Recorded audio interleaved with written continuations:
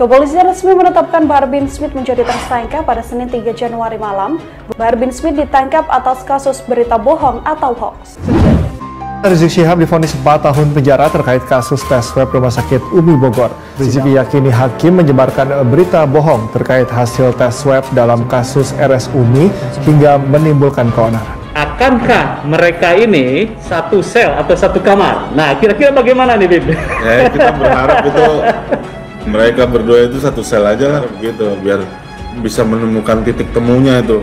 Jikalau nanti andaikan jikalau saya saya masuk diperiksa saya tidak keluar lagi berarti saya telah ditahan berarti saya telah dipenjara jangan pernah tunduk kepada kezaliman dari mana pun datangnya kezaliman dijadikan satu sel ya. Satu sel, Ya, satu kamar. Menurut saya salah satu ini ya masukan Menarik. ya, masukan. Ah, iya. Masukan dari pihak kejaksaan nanti bagaimana putusan dari hakim nanti gimana supaya ini Iya. betul-betul terjadi. Ah, iya.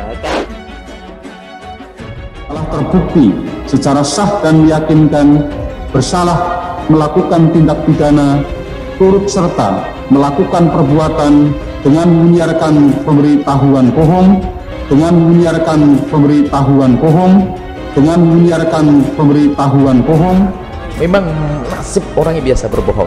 Dosa besar. Allah benci, tidak suka, menjadi sebab kita ke neraka. Kalau pemerintah dolim, tentara jahat, polisi jahat, main tangkap, main syariat Islam disingkirkan saudara. Saya mau tanya, kira-kira besok perlu ada Perlu ada Banyak mengandang buana ya mengenai sejarah termasuk di Syria. Oh, ya, oke. Syria Baik. itu tadinya menjadi negeri yang indah gitu kan. Heeh. Banyak yang dikunjungi oleh masyarakat luas gitu karena keindahan kotanya. Hmm. Iya, iya. Akhirnya lulu lantah dengan gara-gara Hmm, gara-gara Oke. ujaran kebencian. ngerti urusan agama nggak usah ngomongin agama betul kalau nggak ngerti urusan agama udah diam aja kawan dan tidak merasa kalau dirinya bodoh. Tidak merasa kalau dirinya bodoh. Tidak merasa kalau dirinya tolol. Udah goblok? Udah bodoh? Sok pinter. Orang kita ini kan eh, orang yang sopan santunnya luar biasa ya nenek moyang kita. Tapi ketika di medsos, nah itu oh, luar biasa, tidak terkontrol ini. Iya, beberapa pemahaman terhadap agama Islam kadang ada orang yang eh, cenderung fanatik ya. Mengadu, menghead to Iya, head kan artinya, ya. artinya fanatik Pemahaman. dalam arti pemahaman mereka itu muncullah pemahaman-pemahaman yang radikal. Bahar bin Smith resmi menjadi tersangka atas kasus berita bohong tersebut dalam ceramahnya di Marga Asih dan dianggap sengaja menerbitkan keonaran di kalangan masyarakat. Dan dengan kejadian ini sangat-sangat saya apresiasi dan Ya. berharap dengan ditangkapnya dua pelaku tidak terjadi lagi di kemudian hari Habib menyayangkan ya bahwa saya menyatakan bahwa Habib berbohong ya. Saya katakan bahwa apa yang Habib sampaikan di saat di rumah sakit Umi bahwa beliau sehat dan sebagainya itu itu memang tidak sesuai karena indikasi Covid-nya ada. berkaitan dengan ucapan saudara BS saat ceramah yang mengandung berita bohong bohong bohong kita apresiasi ya kepolisian baris krim cyber baris krim Polri dengan bers- udah bersikap netral dalam hal Iya. ini ya menurut saya ketika ini sudah ditangkap kan saya berharap eh, terus berjalan jangan sampai ada maaf gitu kan Mhm. supaya ada efek jerak juga Kalau orang biasa bohong, bisa jadi dia munafik. Orang yang tidak punya iman di dalam hatinya, na'udzubillah, takutlah kepada Allah. Jikalau nanti saya tidak keluar dari ruangan atau saya di penjara ini adalah bentuk bahwasanya keadilan dan demokrasi sudah mati di negara kesatuan Republik Indonesia kita di kehidupan negara demokrasi ini memang tantangan kita ya. Heeh. harus betul-betul eh, kita laksanakan demokrasi. Artinya tidak semuanya berpendapat seenak udelnya keluar isi perutnya semua kan nggak bisa begitu. Iya, iya, iya. kan jadi mau nggak mau etika akhlak ini harus kita terus Iya. kembangkan gitu Betul. Kalau kita naik panggung pengajian, lalu kita umpat sana umpat sini, siapa tuntunan Anda? Teladan Anda itu siapa? Kalau Habib Bahar salah, kita nggak terlalu masalah. Tapi kalau Habib Bahar lagi membela Allah dan Rasulnya, yuk mari. kita sama-sama untuk membela Allah dan Rasulnya. Agama Islam tidak dibela dengan makian. Agama Islam tidak dibela dengan cacian. Agama Islam berjaya di bumi Indonesia ini, di semua tempat di seluruh penjuru dunia dengan rahmat, dengan kasih sayang, dengan kegigihan, dengan kesungguhan dalam mengemban dakwah dan ajaran Nabi besar Muhammad sallallahu alaihi wasallam.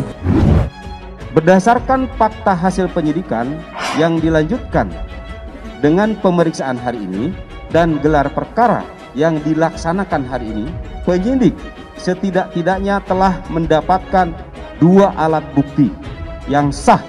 Dengan demikian, penyidik dap telah dapat meningkatkan status hukum saudara BS dan saudara TR menjadi tersangka. Sebab kalau orang biasa bohong terus berkembang, berkembang sampai dicap dia itu adalah pembohong dan menjadi pembohong. Jadi kalau ngomong nggak bohong nggak enak. Memang nasib orang yang biasa berbohong. Karena dusta ini adalah subhanallah. Dosa itu besar.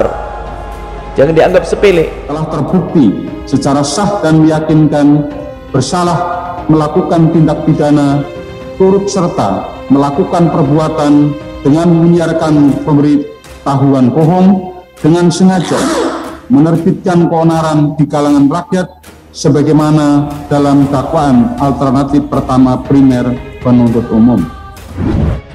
Kami memohon kepada Bapak Komisi 3 DPR RI agar mengusahakan HRS dibebaskan tanpa syarat.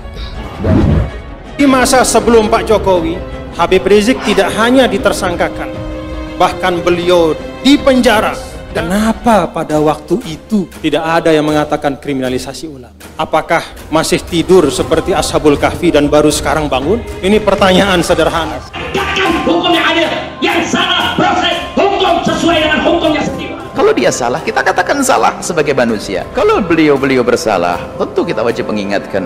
Bahkan kewajiban kita mengingatkan beliau lebih daripada kita mengingatkan yang lainnya. Kenapa? Karena kita mengambil hidayah daripada kakek beliau. Kenapa di saat cucu baginda Nabi melakukan salah kok kita diam-diam saja?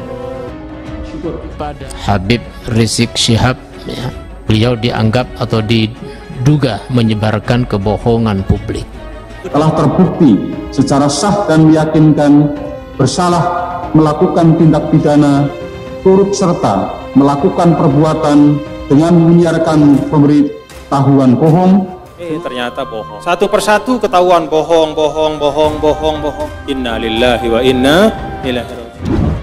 Nama kami Haji Imam Moktik yang mana ada kejadian keluarga Habib Mokdor bin Ali Al-Muhdor.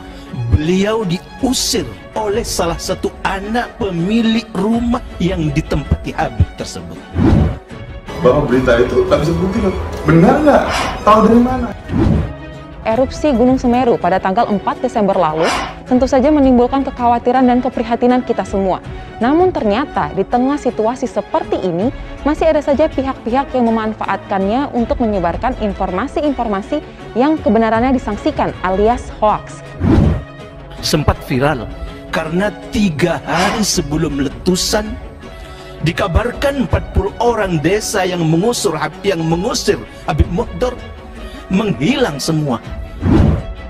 terkait pemberitaan masalah Habib diusir dan juga terkait masalah warga 40 orang yang mengusir Habib hilang itu itu hoak tidak benar Aliansi Ulama Madura, ya berarti aliansi ulama bodoh nih semuanya. Kenapa saya bilang bodoh? Bawa berita nggak bener. Anda nggak kenal itu seorang itu. Kok Anda beritaan bawa ke DPR? Ditonton semuanya. Ini jadi DPR lembaga hoax. Nah, itu yang kita khawatirkan punya pengaruh yang besar terhadap masyarakat muslim di Indonesia gitu loh. Bahar bin Smith menyebarkan kebencian itu adalah hal yang benar. Anda menebarkan kebencian kepada kezoliman. Tapi kita diperintahkan amar ma'ruf nahi mungkar, betul. Amar ma'ruf mengajak memerintahkan manusia kepada kebaikan dengan cara baik-baik. Nahi mungkar mencegah manusia dari kemungkaran juga dengan cara yang ma'ruf, dengan cara yang baik. Bukan kita amar ma'ruf dengan cara yang mungkar. atau nahi mungkar dengan cara yang mungkar jadi dua mungkar sekarang yang perlu dirubah tapi kita amar ma'ruf dengan cara yang ma'ruf nahi mungkar dengan cara yang mungkar kita dakwah menjalankan ajaran Nabi siapa yang kita contoh Nabi Muhammad